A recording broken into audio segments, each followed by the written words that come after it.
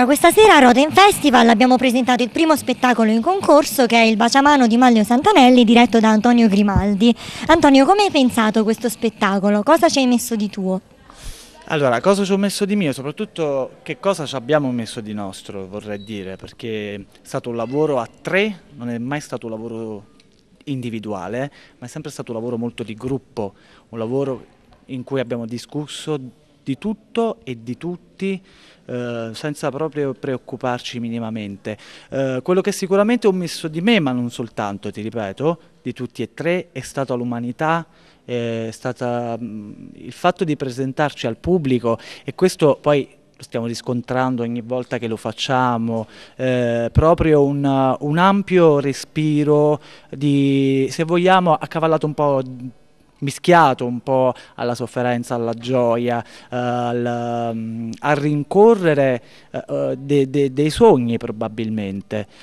C'è da dire che poi il testo da questo punto di vista ci ha molto aiutato, però ti ripeto, è stato un testo che abbiamo scavato, riscavato, eh, rivoltato continuamente senza fermarci mai. Questo sì. Ok, e quali sono le maggiori difficoltà che avete incontrato nel interpretare i vostri due personaggi che sono personaggi molto forti? Innanzitutto Yanara.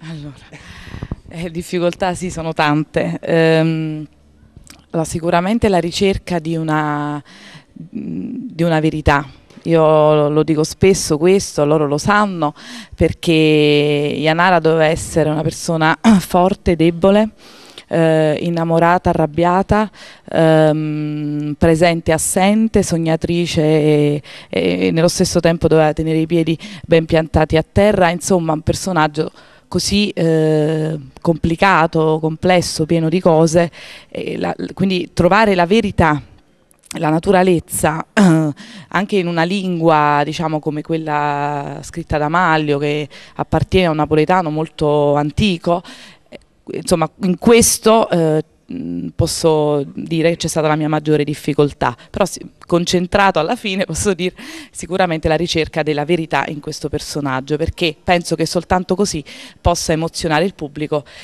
ed emozionare l'attore. Invece Vincenzo Albano? Beh, al di là del, del, nodo che mi costringe, del bavaglio, quindi diciamo per quanto mi riguarda è uno spettacolo innanzitutto eh, fisico che comincia con una certa fisicità. Eh, la stessa fisicità io la cerco nel rapporto con, eh, con eh, Yanara, ecco, diciamo, e tornando al discorso della ricerca della verità, io parto da questo, parto dalla fisicità per trovare la mia verità nel rapporto con eh, Yanara. Il mio mondo eh, ad un certo punto si incontra con quello di Yanara, un mondo completamente diverso, perché io sono, come dire, quasi etereo nel mio modo di parlare, quasi... Eh, invece lei appunto eh, molto eh, concreta, molto eh, terranea. Ecco.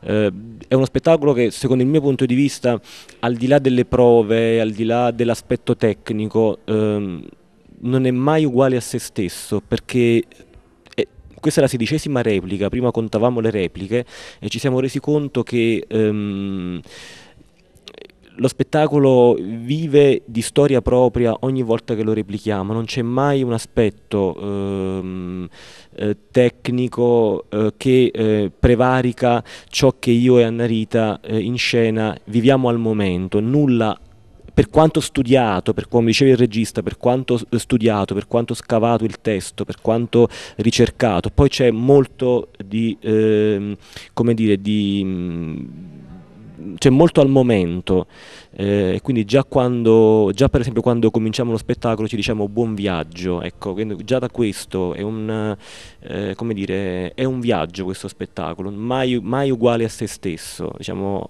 per quanto comunque tecnicamente studiato, ma poi stravolto dall'emozione del momento. Ecco, e quando la diciassettesima replica? A breve, a breve, a breve. Sì, sì, siamo a Rimini e siamo a quest'altro concorso e abbiamo già superato diverse fasi, quindi arriviamo a Rimini, vediamo che succede, se vinciamo bene andiamo avanti, se no si va avanti uguale, ecco sì. Grazie a voi.